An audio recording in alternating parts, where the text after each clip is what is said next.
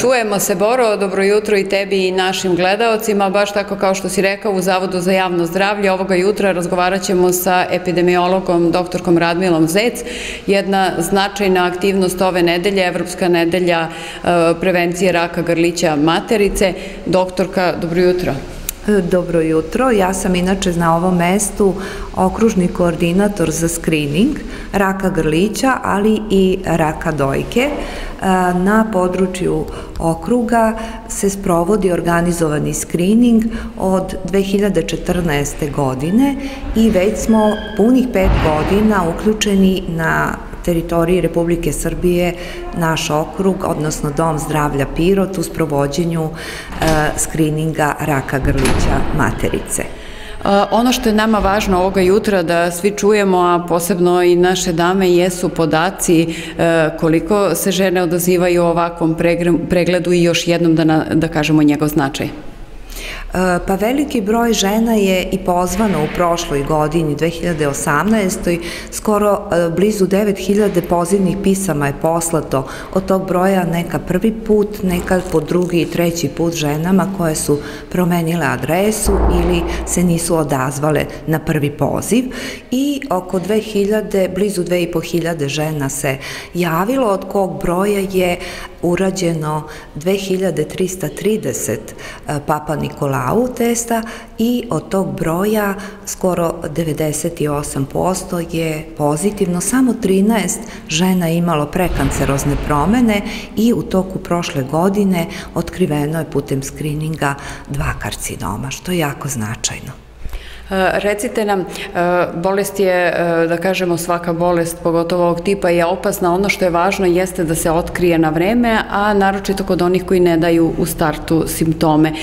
Koliko je značajno podizanje svesti i koliko je značajan taj preventivni pregled?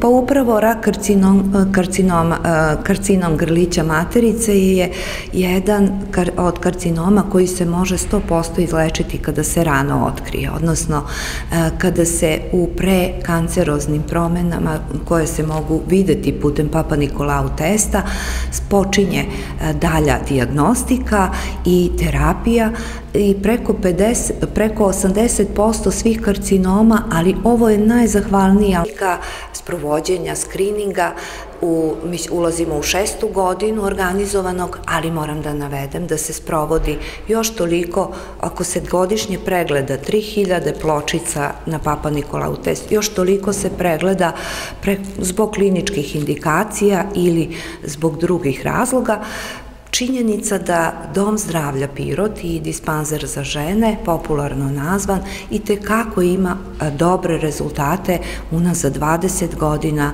u tom e, skriningu, odnosno Papa Nikolau testovima i otkrivanju, ranom otkrivanju raka grlića materice. I recite nam samo nešto što je, da kažemo, novina, to je i vakcinacija devojčica protiv humanih papiloma virusa, e, da kažemo koliko je i to značajno u tom periodu reagovati preventivno.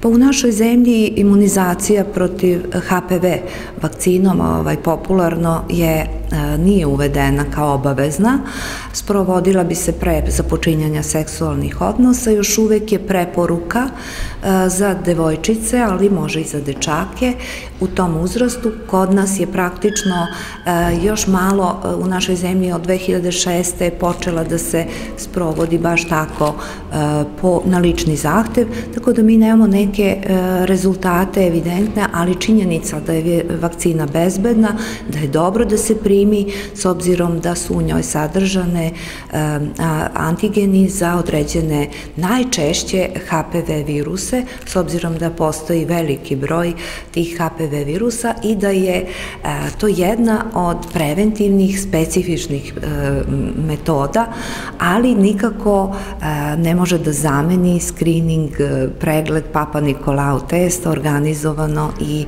ovaj, jednom u tri godine e, kod svih žena uzrasta od 25 do 64 godine. E, doktorka, hvala puno na ovim podacima.